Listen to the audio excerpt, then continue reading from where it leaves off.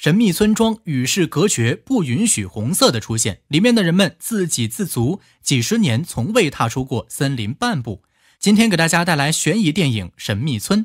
在考明顿村庄有一个传说，据说森林里面有吃人的怪物，它们长着尖爪獠牙，身披红色斗篷，因此红色变成了村庄的禁忌之色。一旦发现红色，就要立即毁掉，不然怪物就会出现进行破坏。当然，怪物也不是万能的。与之相对，怪物害怕黄色，因此人们会披上黄色斗篷以保安全。村民们一直都和怪物保持着彼此的约定，从未踏足过对方的领地。几十年来，村子里一直相安无事。然而，这种与世隔绝的生活也导致村子越来越落后，因为缺乏药物，许多人得不到医治而病死。村中少年路西斯的母亲就身患疾病。于是他向长老会申请穿过树林去外面寻找药物，这个申请自然被拒绝了。而最近村子里也渐渐的不太平起来，村中无故出现了许多动物的尸体，它们被剥去了皮毛，折断头骨，这引起了村民们的恐慌。为了安抚大家，路西斯的母亲称这是一头郊狼干的，人们相信了这一说法。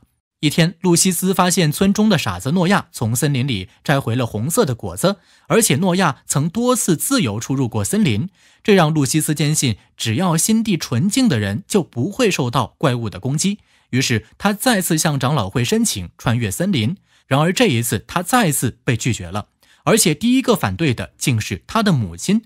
母亲提起路西斯的父亲曾经去到城中，却被残忍杀害，抛尸河中。提醒他，森林之外处处都是危险，希望他不要离开村庄。鲁西斯却不想放弃，他试探着踏进森林，没想到竟然真的看到了林中怪物。受惊的怪物在当晚就侵袭了村庄，守夜人发现了怪物的身影，顿时村中警铃大作，人们慌乱逃回家中，躲进地窖。而露西斯也在慌乱之中牵上了心上人盲女艾薇的手。露西斯认为是自己给村庄带来了厄运。于是主动写了忏悔信给长老会。为了平息怪物的怒气，人们穿上黄色斗篷，去到林中，向怪物祭奠了许多的家禽。晚上是艾薇姐姐的婚礼，村子里的人全部聚集在一起，欢歌笑语。就在大家跳舞的时候，一阵声嘶力竭的尖叫传来，村里的所有家畜都被怪物杀死，并挂在村民的门前以作警示。有些被打开的门上还写上了红色的记号，很明显，这是怪物给他们的警告。就在人心惶惶的时候，露西斯和艾薇的感情却迅速升温，两人很快便决定要结下婚姻，相守一生。然而，傻子诺亚知道之后，却愤怒地来到露西斯家，将他捅成重伤。原来，诺亚和艾薇从小青梅竹马玩到大。诺亚虽然心智不全，却也深爱着艾薇。得知深爱的女孩被抢走之后，他犯下大错。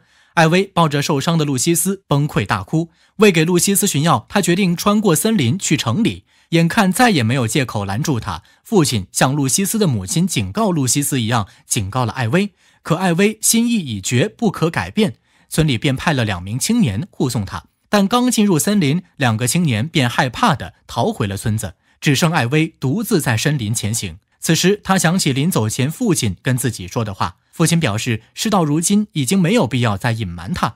并告诉他一个惊人的真相：原来林中吃人的怪物是村民们假扮的。怪物传说确实存在，不过那只是书上的故事。逃到这里的村民都是亲人或者爱人受过迫害的人，在他们眼里，外面的人比怪物还可怕。害怕后代子孙会受到同样的伤害，老一辈才利用传说扮成怪物吓唬他们，只为了将他们禁锢在虚假的桃花源中。途中，艾薇差点掉进一个湿滑的大坑，幸好他及时抓住一旁的树藤爬了上来。顽强的艾薇并没有放弃，他继续朝着森林外走去。突然，不远处传来怪响。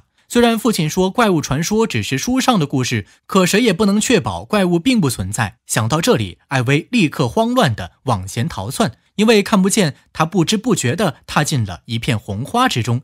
而此时，怪物竟然真的出现了，并发狂似的朝艾薇追来。艾薇凭借着本能开始狂奔，并设计怪物掉进之前那个大坑之中。然而，摔下坑的怪物却露出了真面目，他竟是被关起来的诺亚。诺亚在地板下发现了老人们的道具，于是穿上道具追随艾薇而来，却没想到因此丧命大坑。